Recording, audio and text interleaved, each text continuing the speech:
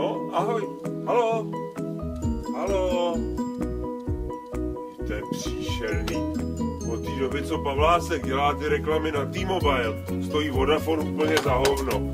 A Eurotel, ten vůbec nemá signál, to kašladu domů.